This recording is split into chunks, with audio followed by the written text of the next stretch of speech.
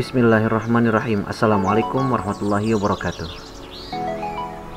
Alhamdulillah kami dari Pondok Pesantren Darussalam Ciamis, Darussalam Tasik, Al-Amin Madura, Darul Kolam Tangerang, Latan Selebak Barul Huda, dan juga Darun Najah Ulu Jami mendapat kesempatan untuk berkunjung ke sekolah-sekolah di Inggris yang dikomandoi oleh Pondok Pesantren Darun Najah.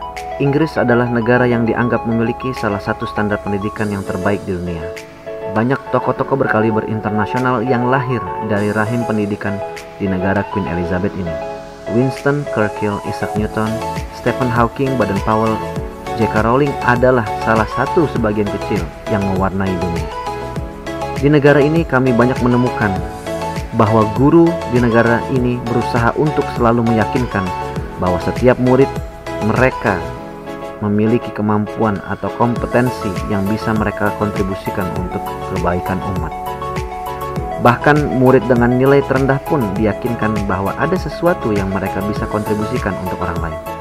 Mungkin dari wawasan, keahlian, keterampilan, sumbangan pikiran, bahkan usul solusi dari sebuah masalah. Apa pun yang bisa mereka kontribusikan untuk kepentingan yang lebih besar.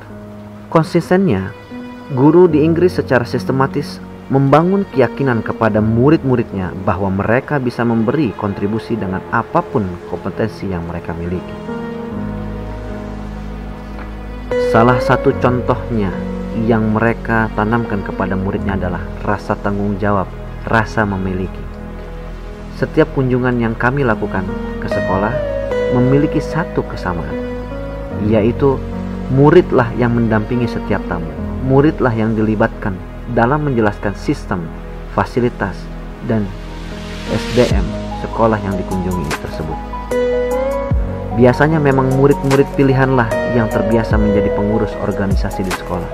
Tapi yang mengagumkan adalah pemandangan seperti ini hampir merata di setiap level pendidikan di Inggris. Di SDSE lah kami mendapatkan penjelasan singkat tentang pendidikan yang ada di Inggris. Mulai dari primary school sampai universitas.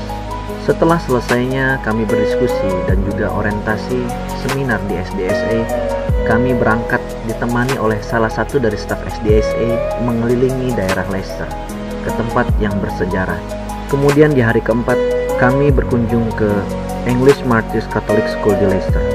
Sebagaimana kebanyakan sekolah Katolik sangat identik karakter siswanya yang cukup kuat. Nyaris kami tidak menemukan sampah yang berserakan di lantai, banyaknya tempat sampah yang membuat sulit para siswanya untuk membuang sampah kecuali di tempatnya. Budaya di Inggris inilah yang sangat menghargai kebersihan dan tentu memahamkan siswa bahwa arti kebersihan itu adalah an-nazafatu minal iman. Kemudian hari selanjutnya kami berkunjung ke Birmingham University di Fakultas Pendidikan. Memasuki gedung utama fakultas ini, mata kami sudah dimanjakan dengan brosur-brosur yang sangat filosofis dan provokatif. Can we teach character? How can character be developed? Ada salah satu pengalaman yang menarik, yaitu berdialog dengan Profesor Colin Diamond, yaitu Profesor Education Leadership. Kami fokus pada dialog tentang religion education dan character education. Pada tengah-tengah pembicaraan, kami sempat mengutarakan sebuah statement yang menurut kami menarik. Character education is not one more thing on your plate, it is the plate. Beliau menanggapi inilah masalah kita sekarang banyak sekolah menganggap bahwa karakter education program adalah beban baru bagi anak di antara beban subjek yang lainnya. Padahal karakter education adalah wadah bagi subjek-subjek lainnya. Semakin kokoh dan besar karakter seorang anak, maka program juga akan mudah untuk dijalankan dan menerima lebih banyak subjek yang berbeda. Yang paling menarik di hari ke-6, kami diperkenalkan dengan salah satu sekolah yang cukup unik, yaitu Burnage Academy for Boys. Ini adalah sekolah untuk anak laki-laki dengan mayoritas siswanya imigran dari negara Timur Tengah dan Afrika. Dengan kondisi background orang tua yang imigran tentu menjadi tantangan yang tersendiri. Lingkungan keluarga mereka yang sering terjadi tindak kriminalitas menjadikan anak-anak itu keras dan cenderung mudah curiga. Tetapi justru di sinilah keistimewaannya. Sekolah ini telah bertahun-tahun mendapatkan akreditasi outstanding dalam bahasa kita adalah A dengan kualifikasi lulusan yang sangat memuaskan. Setelah beberapa lama berdiskusi dengan prinsipal, mengobservasi beberapa kelas, dan mengamati beberapa sikap dari siswa, ada beberapa nilai yang mungkin dapat kita ambil. Di antaranya adalah Kepala Sekolah Bernich ini mengatakan bahwa keberhasilan pendidikan kami bukan seberapa baik dan lembut anak-anak yang kami terima.